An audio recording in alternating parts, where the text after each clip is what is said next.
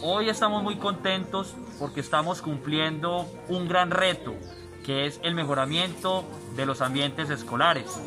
Hemos estado en la vereda El Jardín, en el municipio de Apía y en la sede del Caimal, en el municipio de La Celia, inaugurando estos dos mejoramientos de escuelas rurales. El señor gobernador gestionó ante Findeter una inversión por 300 millones de pesos en estas dos sedes educativas.